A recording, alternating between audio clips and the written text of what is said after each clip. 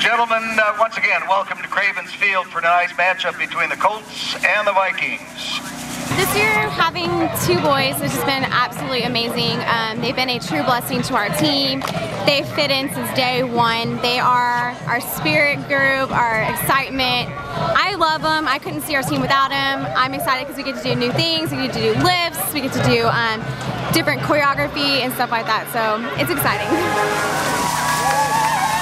Now entering the I decided to try out for drill team and I made it somehow and I really like it so far.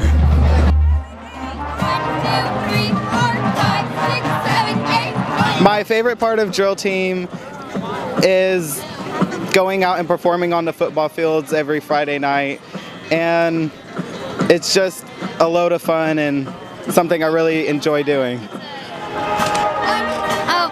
Boys on our team bring a lot of sass and attitude, which is a great thing, and I, I just enjoy their energy and their presence.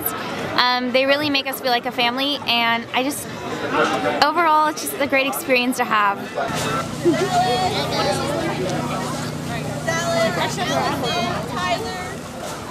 Uh, my favorite thing of being on drill team is definitely performing and being here at Friday nights and seeing the lights and all the people coming to support us. And the moment you step on that field and those lights hit you, the adrenaline just rushes through.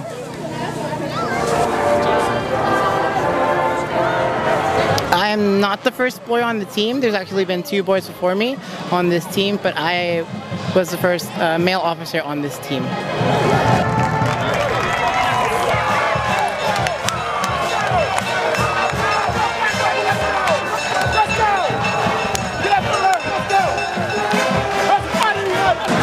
嗯好的。